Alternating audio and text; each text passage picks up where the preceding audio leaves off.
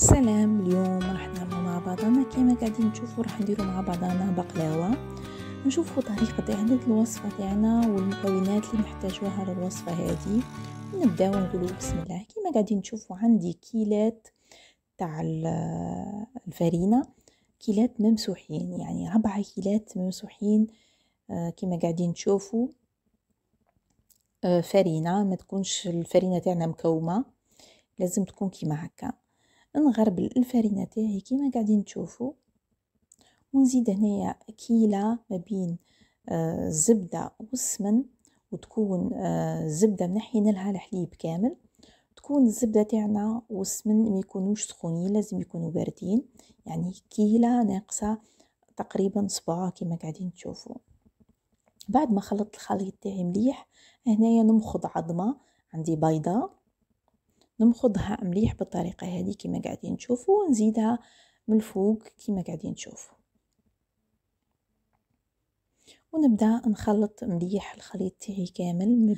هنا من بعد نستعمل هنايا غربال ولا كما نقولوا سقط محمصة يكون شوية خشين كما قاعدين تشوفوا. ونعقب فيه الخليط تاعي كامل. هنا المرحلة هذه مهمة ياسر به ما تجيناش العجينة تاعنا ولا لابات تاعنا تجي فيها آه تكتلات ولا تجي فيها دوكم آه الكعابر اللي ما يخليوكش العجينة تاعك تكون ملاحة ولا المنظر تاعها مليح. هنا في المرحلة هذه نبدأ نستعمل خليط ما بين الماء والمزهر.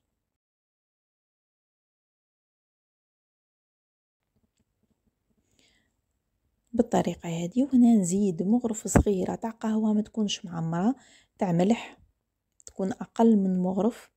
هنا الملح حسب النوعية تاع الملح تاعكم ويقر ولا ما يقرش والكمية تاع الفرينة. يعني كل وحدة تعرف الملح تاعها يقر ولا ما يقرش والكمية تاعو. هنا بعد ما لميت العجينة تاعي هنا العجينة تاعي ملازمش نلمها طرية لازم تكون يابسة متماسكة كما قاعدين تشوفوا. نعجنها تقريبا هنايا واحد سبعة دقائق حتى تتلم العجينة تاعنا. هنا في المرحلة هذه بعد ما تلمت العجينة تاعنا نبدأ نقص هنايا نقصها ل 11 قطعه يعني 11 آه، كره وكل كره وأنا نلم فيها نزيد نعاود كلي نعجنها بين يديا حتى تتلم ويجي الملمس تاعها أحسن. كما قاعدين تشوفوا هنايا بعد ما آه، لميتهم أنا هنا كما قلت لكم راح نعمل 11 قطعه ونخليهم يرتاحوا. هنايا في المرحلة هذه عندي 3 كيلات آه، زوز تقريبا يعني كيلو تاع زوز راح يكفيك للبلا تاع 24 على 30 سنتيمتر. نزيد هنايا كيلة سكر ناقصة زوز صوابع نزيد لها مغرف تاع قرفة تاع قهوة ونخلط مليح حتى السكر والزوز تاعي يتمازج. كما قاعدين تشوفوا الزوز ما قصيته ما رقيق ما, قص... ما... ما رقيق ما رحيته آه أخشين يعني متوسط. كما قاعدين تشوف بليتو بالمزهر حتى يتماسك كما قاعدين تشوفوا بالطريقة هذه نخليه يرتاح.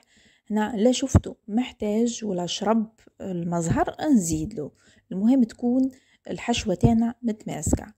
هناك في المرحلة هذه نبدأ ندهن البلا تاعي كما قلت لكم أنا البلا تاعي 24 على 30 سنتيمتر. ندهنو مليح المرحله هذه مهمة ياسر. لازم البلا يتدهن مليح مليح. ونخليوها على جهه هنا بعد ما ارتاحت لي العجينة تاعي نخليتها تقريبا ارتاحت نص ساعة. نبدأ هنايا نستعمل إنشا كما قاعدين تشوفوا عندي إنشا. نبدأ نحل العجينة تاعي. وأنا نستعمل إنشا. كما قاعدين تشوفوا.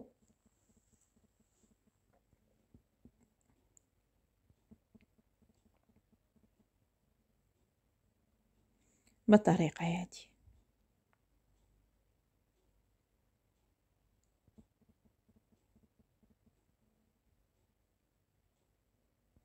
من نحس إني محتاجة لنشا نحطه ونبدأ نحل مليح لازم العجينة تاعنا تكون رهيفة.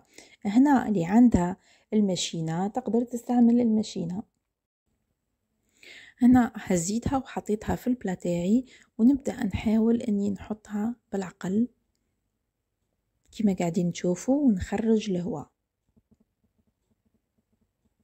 ما لازمش يكون الهواء في العجينة تاعنا.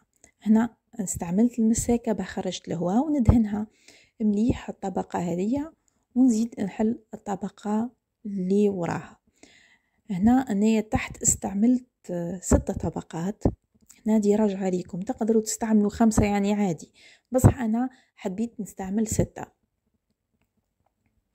ونبدأ كما قاعدين تشوفوا نزيد الطبقة اللي وراها. حتى نكمل الطبقات تاعي كامل ونسيسها كما قاعدين تشوفوا ونخرج الهواء باستعمال يعني المسلكة هذه كما قاعدين تشوفوا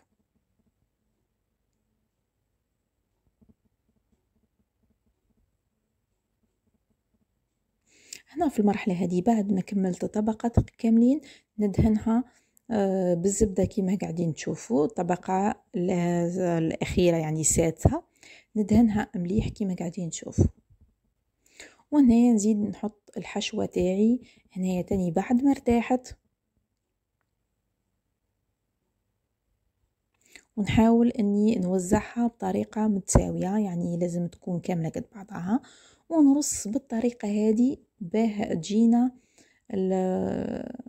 الحشوة متماسكة في البقلاوة تاعنا كما قاعدين تشوف. ما نرصش ياسر بصح كيما قاعدين تشوفوا الطريقة هذه اللي استعملتها. هنا ما استعملتش نشا بحليت العجينة تاعي. كيما قاعدين تشوفوا هنا اللي عندها المعينة آه، شكون يحكم معاها بتحل العجينة تاعها. كيما تجبدها بالطريقة هذه تجيها أسهل. كيما قاعدين تشوفوا جبدتها وساعدتني وجاتني كيما نقولوا حنايا مطاطية وساعدتني به آه، حليت العجينة تاعي. يعني ليا أنايا نفضل إني ما نستعملش نشا. يعني ساعدتني الطريقة هذه بلا نشا أحسن. هنا كما قاعدين تشوفوا ما بين طبقة وطبقة ندهن الزبدة مليح حتى نكمل الطبقات الخمسة تاعي كما قاعدين تشوفوا هنا بعد ما ما كملتهم هنايا نبدأ نحي العجينة تاعي كما قاعدين تشوفوا بالطريقة هذه ونخباها العجينة ديكا ما نطيشوهاش نستعملوا بها وصفة أخرى ونشوفوا مع بعضنا واش راح نديروا بها. هنا كما تشوفوا هنايا اللي تخاف انها تقص تستعمل الطريقة هذه تقمر بالطريقة هذه قبل ما تقص. كما قاعدين تشوفوا أنا قمرت كيما هاك من بعد بها نقص. يعني كما قاعدين تشوفوا نقص فيها بالطريقة هذه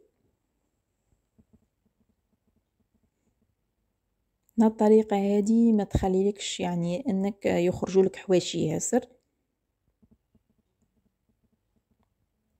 نكملهم ونشوفوا مع بعضنا هنا في المرحلة هذه بعد ما كملت آه، البقلاوة تاعي قصيتها رشكتها بالعود قرنفل.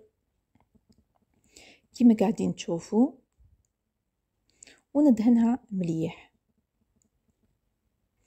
هنا بعد ما ندهنها مليح نزيد نصب لها خليط كيف كيف ما بين الزبدة والسمن. أنا خلطت كلش من أول لآخر خليط ما بين الزبدة والسمن. كما قاعدين تشوفوا.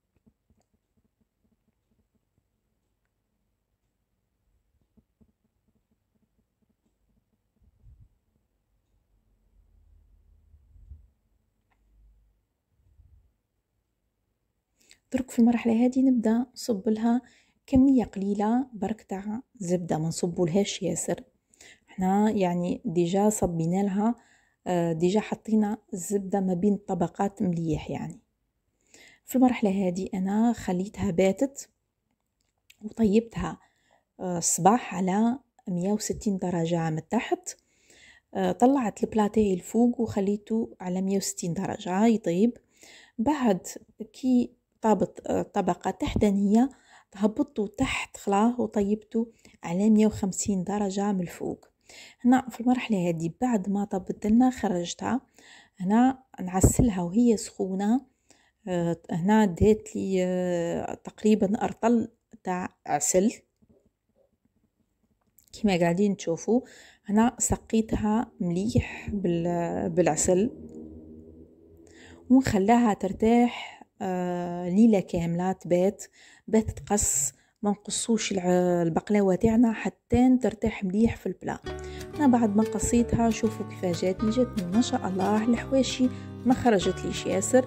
كما قاعدين تشوفوا. إن شاء الله الوصفة تاع اليوم تكون عجبتكم ونقول لكم يعني هي آه، مجرد إني تقسمت معاكم الطريقة تاعي ولا طريقتنا تاع دارنا في اعداد البقلاوة. نقول لكم سلام نتلاقاو في وصفات أخرى إن شاء الله.